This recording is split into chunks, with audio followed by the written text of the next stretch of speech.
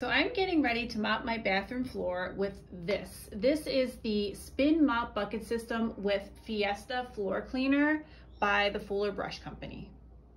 First, let me talk about this mop head. It's made from a super soft microfiber yarn, so it's safe for marble, granite, sealed wood. It's ideal for pretty much any type of floor because it's so gentle. And then the assembly, just line up the notches, give it a nice press, and it's clicked in. To take it off, you just step on one of the corners, turn it on an angle, and it pops right out. Okay, now let's have some fun. Set it in the strainer and press the pedal.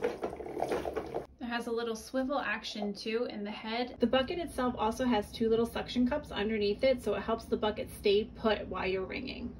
So check it out, the Spin Mop Bucket System with Fiesta Floor Cleaner